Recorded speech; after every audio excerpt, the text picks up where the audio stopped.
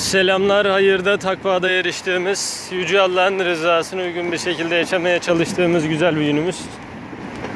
Allah'ın izniyle bugün de huzurluyuz, mutluyuz, sağlıklıyız. Her zaman Yüce Allah'ın hükümlerine göre bir hayatı sürmenin hedefiyle yaşıyoruz. Şu dünya düzeni ne yazık ki şeytani bir düzen. Sayısızca haram, batıl konu yapılıyor ve insanlar her şeyi normalleştirmiş yaşıyorlar. Yaşamak denirse bu hayata yaşıyorlar.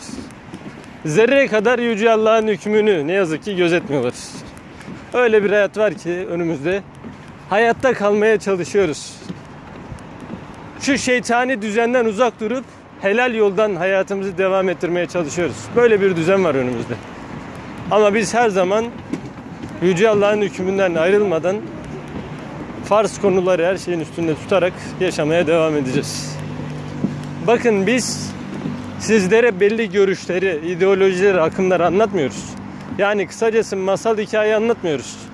Biz size şu mükemmel kainatı yaratan, şu mükemmel bedeni bizlere veren Yüce Rabbimizin hükümlerini anlatıyoruz. Emin olun bütün insanlar şu dünyada her şeyden önemlisi kulluğunu yerine getirmek için gelmiştir. Ama ne kadar düşünüyorlar? Bir kendilerine herkes sorsunlar. Bakın biz onları düşündüğümüz kadar onlar kendini düşünmüyorlar. Ne yazık ki böyle. Emin olun mükemmel bir hesap önümüze gelecek. Devamlı bu dünyanın menfaatleriyle her türlü haram batıl konuyla yaşamayın. Kendinizi rezil rüsva etmeyin. İnsanlar aşırı cahil yaşıyor gerçekten. Hiç düşünmüyorlar. Sanki hiç hesap vermeyecekmiş gibi bir hayatı sürüyorlar ne yazık ki. Ben bunları anlatıyorum. istiyorum ki insanlar dost doğru yaşasınlar. Mutlu olsunlar. Hayatını güzel bir şekilde devam ettirsinler. Ama insanlar ne yazık ki o kadar fazla şu dünyanın oyun eğlencesine dalmış ki Yüce Allah'ın hükümlerini zerre kadar düşünmüyorlar. Böyle bir hayat da sizi rezil rüsva eder. Siz helak olmak mı istiyorsunuz yoksa mutlu olmak mı? Bunun da kararını verin. Bakın Yüce Allah'ın hükmünü her gün yapmak hepimizin görevidir. İnşallah insanlar düşünür yaparlar. Hakiki, hakiki manada yerine getirirler. Ve kendi hayatlarını herkes muhakeme etmelidir.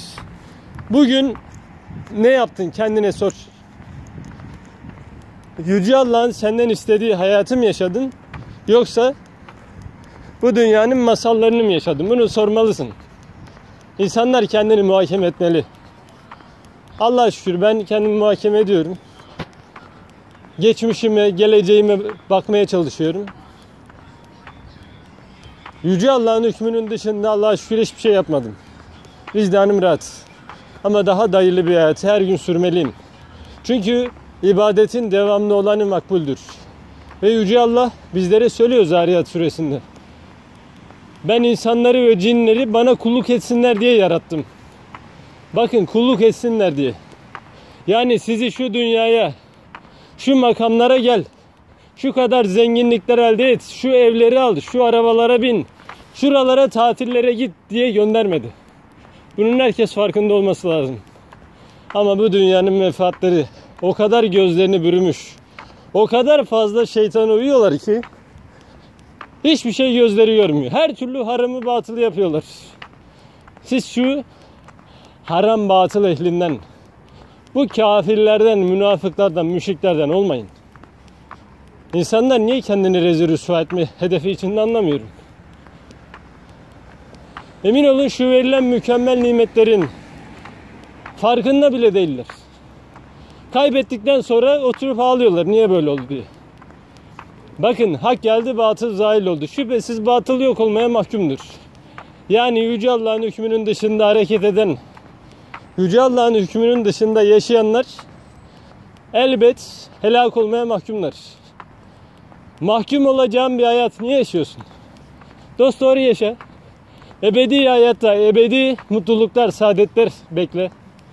Yani tevekkül et. Böyle bir hayatı herkes yaşamalıdır. Allah'a şükür ben yaşamaya çalışıyorum. Allah'a şükür bugün kıldığımız namazlar, tuttuğum oruç, dualarım, dost doğru hayatım bana kalır. Yoksa elde ettiğim kazançlar, makamlar, geçtiğim sınavlar Bu dünyada beğenilen şeyler hiç önemli değil. Hiçbiri kalmayacak. İnsanlar neyin gayesi içinde anlamıyorum. Gerçekten anla- anla- anlayamıyoruz. Biz de bu dünya için uğraşıyoruz ama her zaman helal yönden. Ve hiçbir zaman kendimizi şu dünyaya kaptırmadan. Hiçbir menfaatine kendimizi kaptırmıyoruz. Çünkü biz Yüce Allah'ın rızasına uygun yaşıyoruz. Takva yarışı içindeyiz.